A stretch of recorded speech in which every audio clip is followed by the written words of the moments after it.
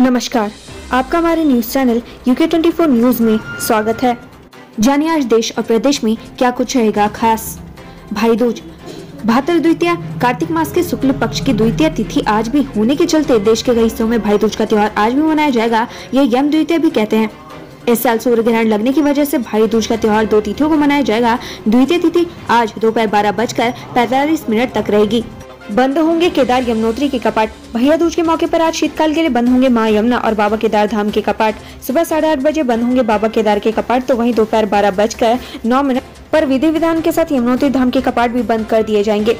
PM का त्रिपुरा दौरा। प्रधानमंत्री नरेंद्र मोदी का आज त्रिपुरा दौरे का कार्यक्रम है। माना जा रहा है कि अचानक पीएम का ये एक दिवसीय दौरा भाजपा को फिर से जीवंत करने और सत्ता विरोधी लहर पर काबू पाने के लिए विधानसभा चुनाव चार महीने बाद होने वाले हैं।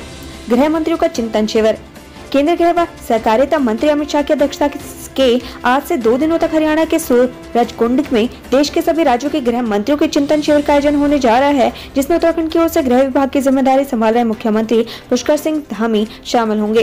तेलंगाना पहुँची भारत जोड़ो यात्रा। राहुल गांधी के नेतृत्व में कांग्रेस के भारत जोड़ो यात्रा तीन दिनों के अंतराल के बाद आज तेलंगाना के नारायण पेट ज़िले के मकताल से फिर से शुरू होगी। कर्नाटक में रायचूर से निकलने के बाद भारत जोड़ो यात्रा ने तेईस अक्टूबर की सुबह गुड़े बेलूर के रास्ते राज्य में प्रवेश किया था। पैदल मार्च के बाद रविवार दोपहर 26 अक्टूबर तक तीन दिनों का विराम लिया गया।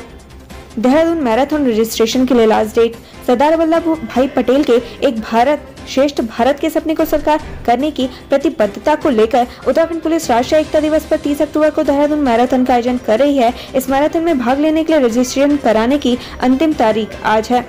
टी ट्वेंटी वर्ल्ड कप 2022 भारतीय cricket team ICC T twenty world cup 2022 के अपने दूसरे मैच में आज नीदरलैंड से भिड़ेगी। मैच ऑस्ट्रेलिया के सिडनी क्रिकेट ग्राउंड में आयोजित किया जाएगा। मौसम की स्थिति सामान्य रहने की संभावना है।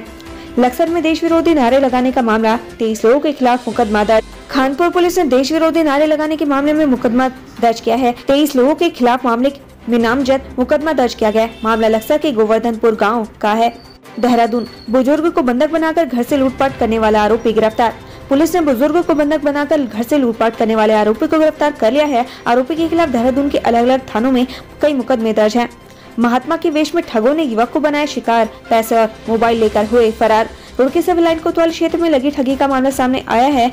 यहाँ महात्मा विषधारी ठगों ने एक युवक को अपने झांसे में लेकर उससे मोबाइल और पैसे ठग लिए और फरार हो गए। मामले में पीड़ित ने पुलिस को तहरीर दी। पुलिस आरोपियों को तलाशने के लिए सीसीटीवी फुटेज खंगालने में जुटी है। वारदात को अंजाम देने चाकू लेकर घूम रहे दो युवक, पुलिस ने किया गिरफ़्तार। कनकल ज्वालापुर पुलिस ने चाकू के साथ दो युवकों को गिरफ़्तार किया है। यह आरोपी किसी आपराधिक वारदात को अंजाम देने के लिए घूम रहे थे। वही पुलिस ने लंबे समय ऐसी फरार चल रहे वारंटी सतीश को भी गिरफ़्तार किया है।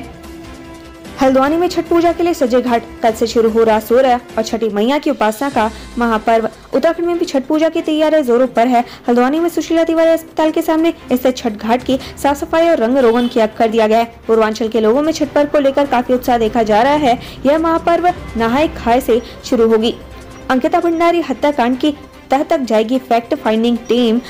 जाँच से संतुष्ट नहीं महिला मंच। उत्तराखंड के अंकिता भंडारी हत्याकांड को एक महीना से ज़्यादा बीत चुका है। लेकिन अभी तक मामले की जाँच ही चल रही है। लिहाजा उत्तराखंड महिला मंच ने देश भर के जिम्मेदार महिला संगठनों के साथ मिलकर बीस सदस्य तथ्यान्वेषण यानी फैक्ट फाइंडिंग टीम गठित की है। ये टीम अंकिता के घर से लेकर वनंतरा रिजॉर्ट समेत अन्य जगहों पर जाएगी। पहाड़ चढ़ेंगे डॉक्टर। 50 प्रतिशत ज़्यादा मिलेगा मानदेय। स्वास्थ्य व्यवस्था सुधरने की उम्मीद।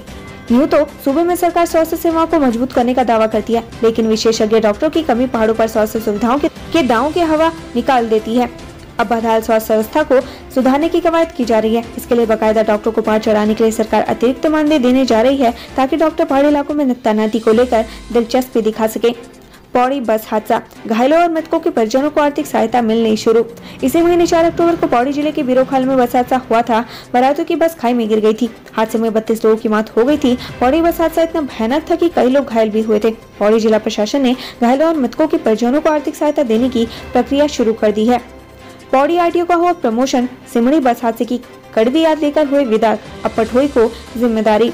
उत्तराखंड के पाँचवें सबसे बड़े पौड़ी ज़िले में नए आरटीओ की तैनाती हो गई है। पौड़ी आरटीओ प्रशासन राजीव मेहरा की पदोन्नति के होने के बाद अब नए आरटीओ दिनेश चंद्र पठोई को ज़िले के परिवहन विभाग की कमान सौंपी गई है। राजीव मेहरा का कार्यकाल भले ही छोटा रहा लेकिन कई कड़वी यादें जुड़ गई। उनके कार्यकाल में सिमरी बस हादसा हुआ जिसमें बत्तीस लोगों की जान चली गई। इसके अलावा किसी न किसी दिन हादसों में लोगों की जान जाती रही। द्वादश ज्योतिर्लिंगों की यात्रा पर निकले सोमेश पवार साइकिल से तय करेंगे 14,000 किलोमीटर का सफ़र। बद्रीनाथ के सोमेश पवार साइकिल से द्वादश ज्योतिर्लिंगों की यात्रा पर निकले हैं। इस यात्रा के दौरान सोमेश पवार चौदह किलोमीटर का सफ़र तय करेंगे। सोमेश पवार 2020 में नशा मुक्ति अभियान पर बद्रीनाथ से कन्याकुमारी की यात्रा भी कर चुके हैं। अल्मोड़ा में खेला गया पाषाण युद्ध देवी धुरा की तर्ज पर होती है।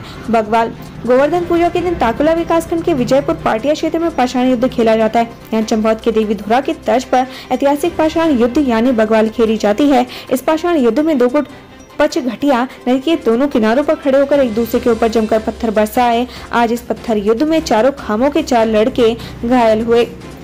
हरिद्वार, गारमेंट शॉप में चोरी, ताला तोड़कर कपड़े ले उड़ा शातिर चोर। त्योहार समाप्त होते ही जौलापुर क्षेत्र में चोरों ने आतंक मचाना शुरू कर दिया। आज हरिद्वार में अज्ञात चोरों ने गारमेंट की एक बड़ी दुकान का ताला तोड़कर वहाँ के कपड़ों पर हाथ साफ़ कर दिया। कोतवाली जौलापुर पुलिस ने दुकान के मालिक की तहरीर पर अज्ञात चोरों के खिलाफ मुकदमा दर्ज किया है। हाईकोर्ट की रोक के बावजूद कई जिलों में अवैध खनन की भरमार रात के अंधेर में चमका रहे गोरख धंधा। उत्तराखंड में हमेशा से खनन कारोबार राज्य सरकार के लिए और खनन कारोबारियों के लिए सोने का अंडा देने वाला काम रहा है। खनन के काम में जितना पैसा राज्य सरकार को राजस्व के रूप में मिलता है, उतना और शायद ही कहीं से मिलता होगा। लेकिन मार्च महीने के बाद उत्तराखंड में हाईकोर्ट में खनन पर रोक लगा रखी है। खनन पर रोक लगने के मुख्य कारण वैसे तो जानकार मानते हैं की राज्य सरकार ठीक से कोर्ट से पैरवी नहीं कर पाई, जिस कारण राज्य में खनन पर रोक लगी है। इगास पर्व को लेकर महेंद्र भट्ट ने अनिल बलूनी की मुहिम को सराहा, पारंपरिक छुट्टी की मांग। उत्तराखंड में इगास पर्व को लेकर अनिल बलूनी की मुहिम को बीजेपी प्रदेश अध्यक्ष महेंद्र भट्ट ने सराहा है। उनका कहना है कि सरकार ने एक कदम आगे बढ़कर इगास पर्व के मौके पर छुट्टी का ऐलान किया जो काफ़ी काबिल तारीफ़ है। बीजेपी इगास पर्व को भव्य और दिव्य बनाने का प्रयास कर रही है। युवा पीढ़ी भी अपने पारंपरिक पर्वों को लेकर उत्साह और रुचि दिखा रही है। ऐसे में वो इगास पर्व पर पारंपरिक छुट्टी की मांग करेंगे। उत्तराखंड से संबंधित ऐसी ही खबरें पाने के लिए हमारे चैनल को लाइक व सब्सक्राइब ज़रूर करें। धन्यवाद।